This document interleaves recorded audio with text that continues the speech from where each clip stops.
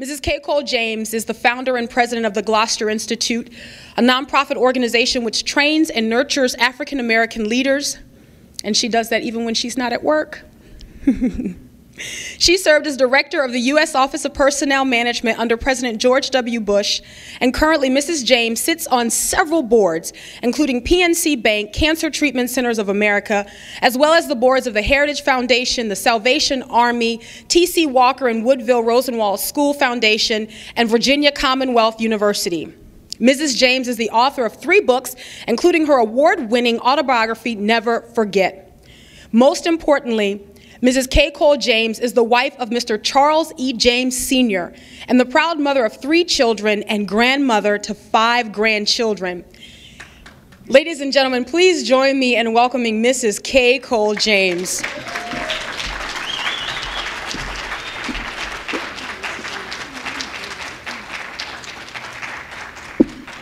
Good evening. Wow, that light is really something.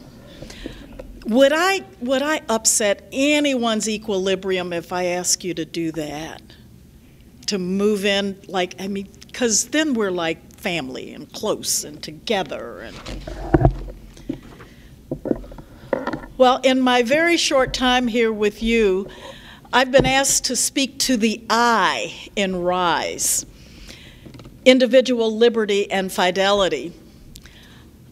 I um, I want to say a couple of things by way of introduction. Um, for whatever reason, the Lord plucked me out of my kitchen where I was happily a stay at home mom, being mother to three children and wife to my husband Charles. It was the pro life issue that propelled me out of my kitchen and I went to work for an issue that I felt and feel passionately about. I am now, what am I, 64 years old, and I said to Charles, 20 years from now, the issue that will get me out of the bed in the morning and still have me going is going to be the life issue. Because I believe that it is the greatest civil rights issue of our day where members of the human family are discriminated against because of size, age, and place of residence. And so I have always considered myself a worker in the civil rights movement, and I continue to be. But quite frankly, I thought that that was going to be as an activist. Because I got involved because, like you, I cared deeply about this country and about issues that were important to me. So you can imagine my surprise when the Lord took my life into an entirely different direction. It was almost comical that when I was asked to come to the National Right to Life as the spokesperson for the largest pro life group in the country at the time, they asked because they were in the middle of a political campaign. Now, I had never been involved in politics or government before. But it was important to rally God's people. And it was important to rally the pro life movement and help them to understand the importance and significance of that issue. And so when I showed up over at the campaign headquarters and started doing coalitions and meetings and working with them. You can imagine they saw back in that time. I, I actually was was kind of cute and really skinny, and so I presented well. And our family became the they didn't have a leader of the pro family movement at that time they said would your entire family be the spokespeople for the Bush Quayle campaign and head up the pro family movement.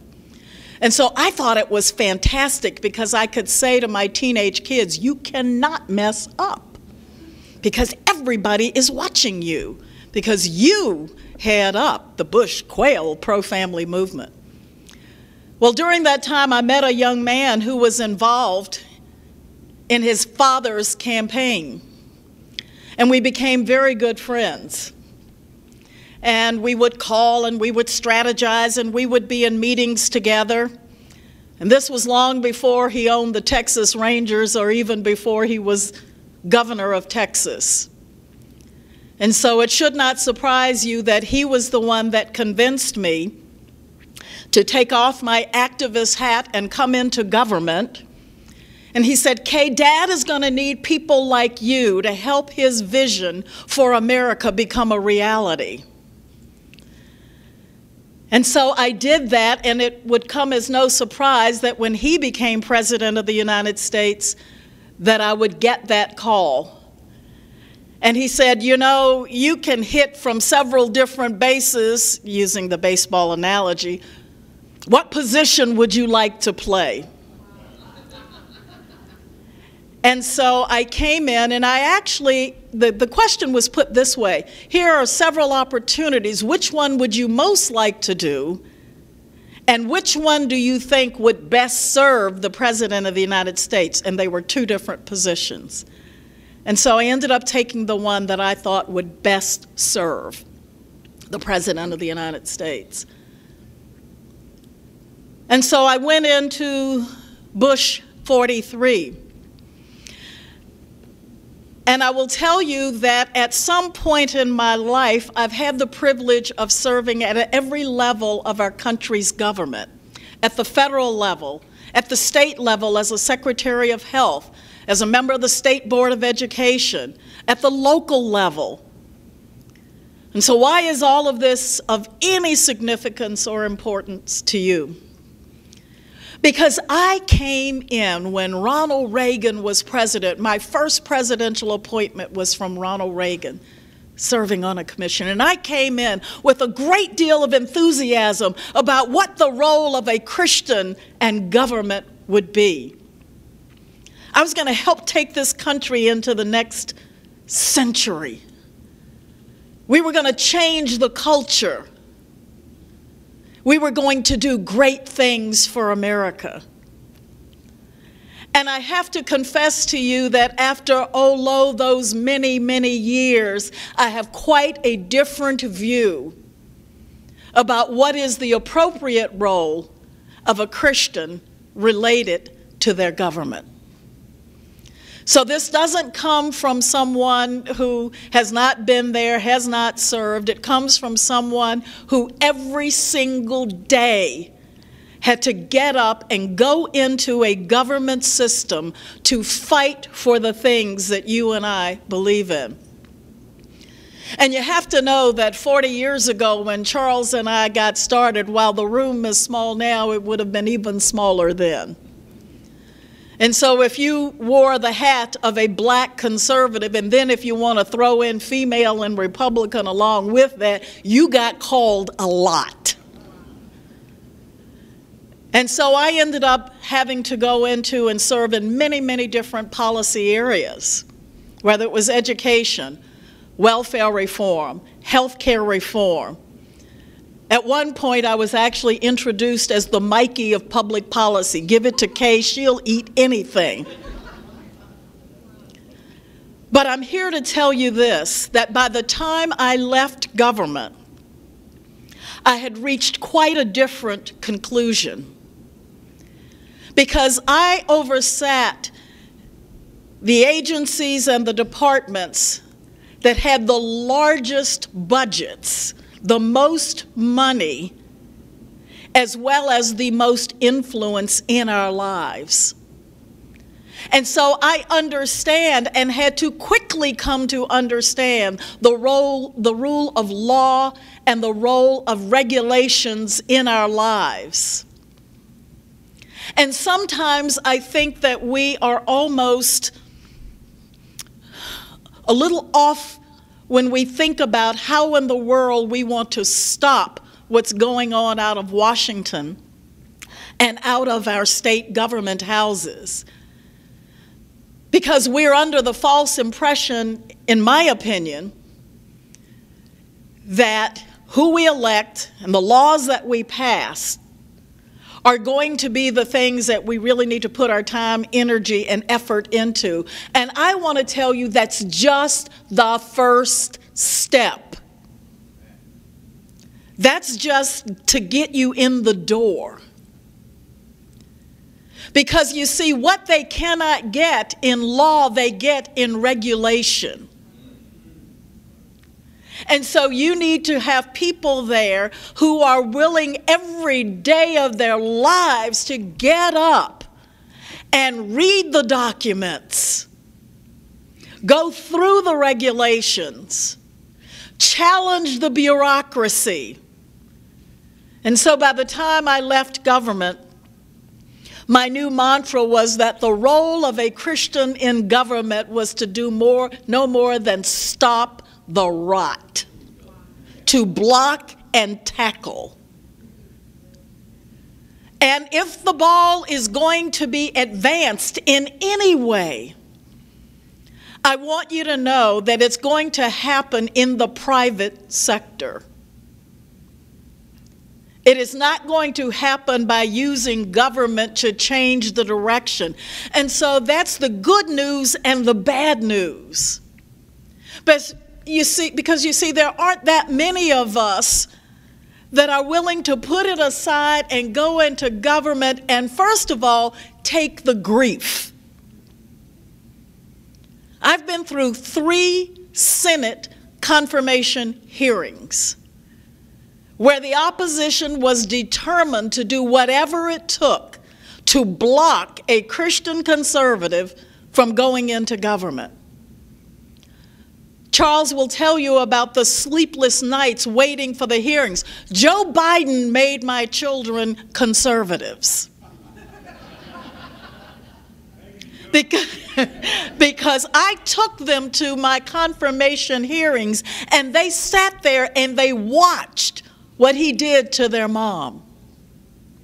In one particular hearing, the questioning was so mean, so nasty that I got a note from the staff sitting in the back that says, I, I don't even know the answers to the questions they're asking you. You just have to survive. You just have to survive. What you have to go through in terms of the paperwork, it's, it's unbelievable. Our lives were laid bare. We had to disclose everything about our lives and our finances. We had to list every wedding present my daughter got because she got married the year I was confirmed for one of those jobs. And I just want you to understand that because you see, the time is going to come once again when in fact we have the opportunity for some of you to go in and serve. And I'm not really here to scare you off today, I'm here to encourage you. I'm here to tell you to get ready. Because when the real work is being done outside of government, we've got to have a whole team of people that are ready to go in and block and tackle. And we used to say in the morning, I go high, you go low, we can take them. and I used to tell people that I hired, if you don't enjoy eating problems for breakfast, this is not for you. And it was awfully difficult to figure out how we maintained our liberty and freedom by going in and forcing the government to do constitutionally what it was supposed to do. But it requires people who are willing to be the watchmen upon the walls to get that done. And so that I and rise is absolutely critical and absolutely important to get done. But I want to leave with you a three part prescription for what I believe, because see, I, I, after the time that Charles and I have spent blocking and tackling and being in the movement, I'm tired of defining the problem. I'm ready to take somebody out. I'm ready to get this done. Do you understand, too, that at my age, it happened on my watch? We sat in the movie The Butler, and everything that that movie spanned was in my lifetime. When you talk about the breakdown of the black family, on my watch. When you talk about the rise of educational disparities, on my watch. When you talk about healthcare disparities and you look at the numbers and the research and the data, on my watch. And when you wonder what is the energy, the motivation, why do we keep it going? So I have five grandchildren, you heard that. And we have to fight every single day of our lives. And the mantra in the James family is not on my watch. Not on my watch. And so we will keep going and, and we remind ourselves every day that we are immortal until Jesus calls us home. So we can be without fear as we go forward with what God has called us to do. The three pronged approach in order to bring about real and lasting change in this country. I tried to capture it in my second book, Transforming America, from the inside out. Yes, it is political. It is absolutely our responsibility to be involved in government and politics, non negotiable. Non negotiable. In order for us to maintain or regain the country that our founders intended, we must be involved in the political process. And so every day we are. And working with candidates that share our values and working against those that don't. We must be engaging the culture. Many people have asked me how I feel about the movie The Butler and how they portrayed the presidents, particularly Reagan, and how, in fact, and I, Charles and I were coming out of the movie, and you know, I think the lady behind us thought I was a little nuts because I had on jeans and a T-shirt, and you know, Charles had been out doing yard work, and I'm walking out of the movie saying, "Well, Sweetie, I think they did a good job on capturing the state dinner. That was real because that's what it was like when we were there. And, um, you know, the, the only problem is, and, you know, we start going through all of this, and, and, and we just shake our heads at the places that God has put us over those many, many years. Well, we're coming out, and, and, and I was not mad at them because they took a movie and used it, and a whole nation is out there believing it's true. They know how to use the culture in order to make their points. I'm not mad at them, I just take notes. We have to influence the culture. We need to make great movies. We need to write compelling books. We need to have art that actually challenges people and changes the culture. So we got the politics, we got the cultural piece, and you know, you know that unless there is a spiritual revival in this nation, it ain't gonna happen, folks.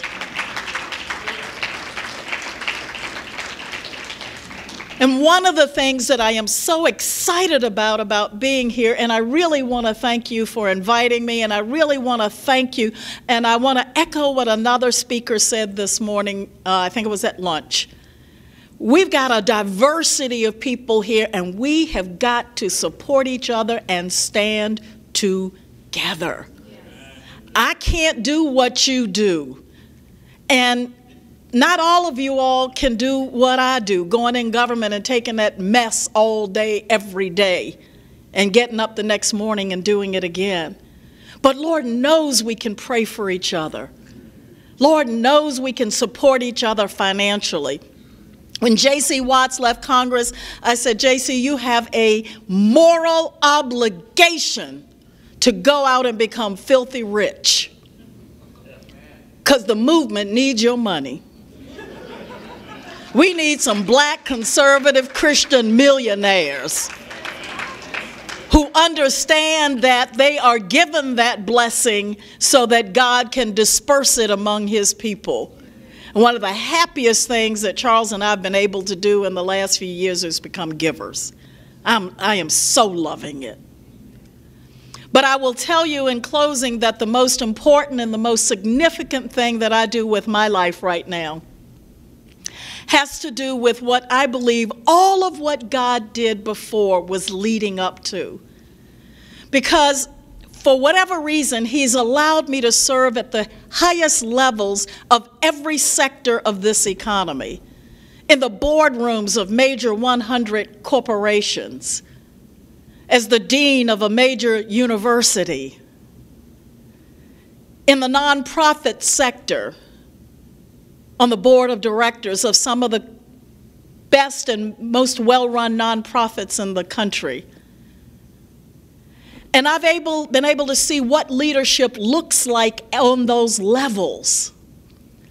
And so I decided that what I want is Obama 30 years ago. And how I'm going to spend my last years on the planet is bypassing all of those folks and I'm going to Obama 30 years ago. So I want to identify those young people who have already exhibited leadership potential. I want the ones that are on our college campuses that are college student government presidents, that are presidents of their sororities and fraternities, that are head of the yearbook and I want them now.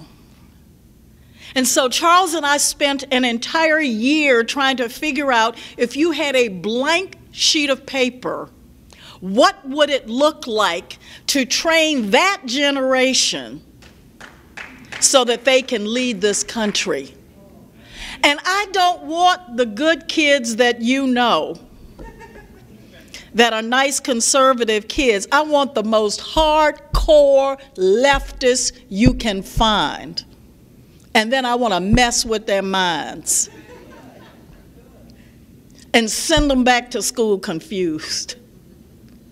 And so, what I want to do is just show you a little bit in three minutes of what that looks like, and then I'm going to wrap it up. Thank you. Unfortunately, most of us think in very short term ways, in very tactical ways. What is the next piece of legislation? What is the next election that we have to win? All of which is vital and critical, but we also have to have a long-term strategic plan. Demographics tell us that by 2050, this country is going to be led by minority communities.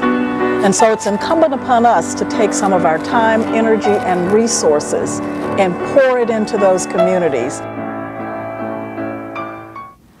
Gloucester is strategic, it is not tactical.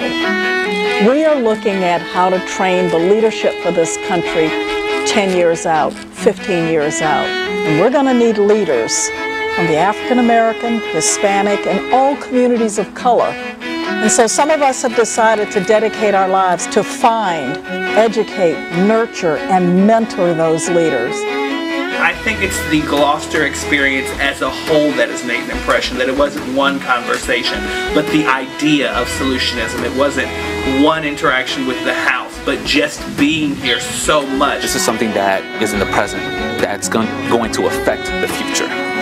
Being in this program has allowed me to, you know, get my basis, get my foundation. The people that surround us um, here at the Gloucester Institute, being around Ms. James and her colleagues has just been, it, it's an amazing experience. To be included in the actual Emerging Leaders program um, was a huge honor for me. You realize your mission, your role, and your responsibility. We are that next generation of leadership.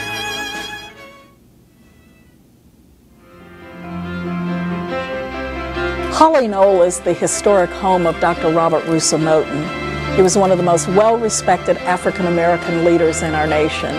And if you ever received an invitation to come to Holly Knoll to talk about the important issues of the day, generally you accepted. What better place than where leaders have gathered for generations? What better place to have young people come to receive their mentoring, their training, their education, and their launch into leadership.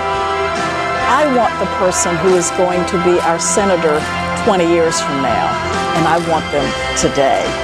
I want the person who's going to be a CEO of a major corporation 15 years from now, but I want them today. I want the person that's going to be a college president, but I want them today. And I want them today so that we can expose them to people and ideas and events that are outside of their narrow experience. We want to do that today so that we can have the leadership this country deserves in 20 years.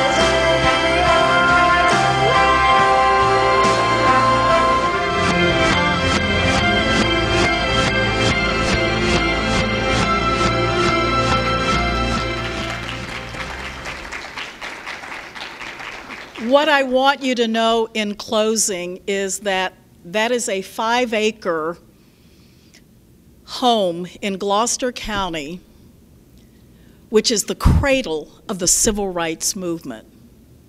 Martin Luther King went there on his way to Washington to rest before he gave his famous I Have a Dream speech that we're celebrating the 50th anniversary of now. When black college presidents came together to decide how are we going to educate young black youth, they came there and founded the United Negro College Fund.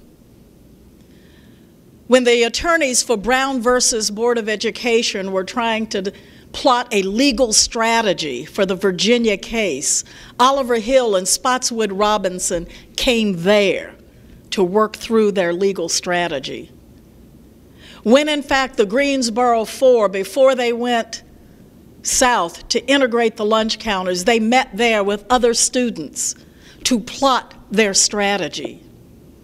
The place is so significant that it was on the national, is on the national, and the Virginia Historic Registry. And God placed it on my heart that we should own that place. We meaning you and me. Because you see, when I went there to check on it, the windows were broken, vines were growing up, mold had taken over the house. And to me, it was a metaphor of what I saw going on in our country and in our community. And Charles and I stood there and said, Not on our watch.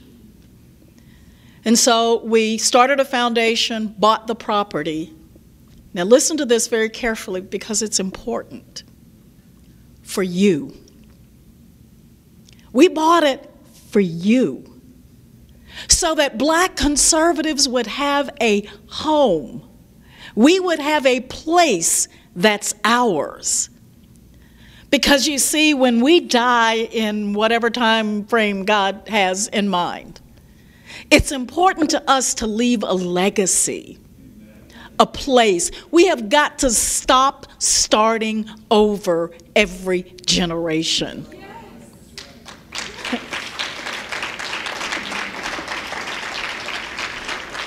And so I want to issue to you the invitation that Dr. Moton issued throughout his life to come to Capahosic. It's yours. It's yours. It's where black leadership gathered for years. And so it seems to me only fitting and proper and right that if we're going to launch a revolution to save this country, we should have a campsite to do it from. So thank you very much, and welcome to Capahosic. Come anytime.